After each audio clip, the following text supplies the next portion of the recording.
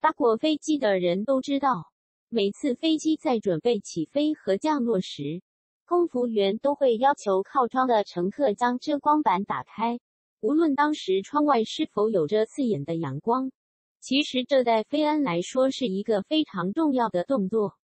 能够增加所有乘客在发生事故时的存活率，而背后也有着几个理由，大家一起来了解一下吧。原来飞机在起飞前的六分钟和降落前的七分钟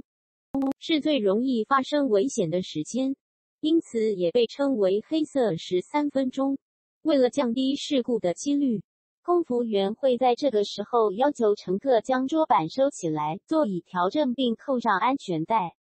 同时打开飞机窗上的遮阳板。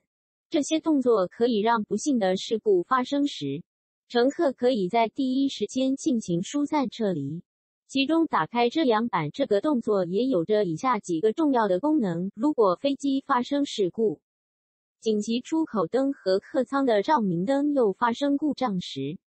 乘客可以靠着窗外的光线找到正确的逃生路线。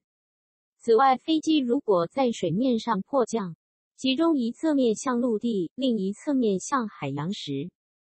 乘客和空服员就可以透过打开的飞机窗观察外面的环境，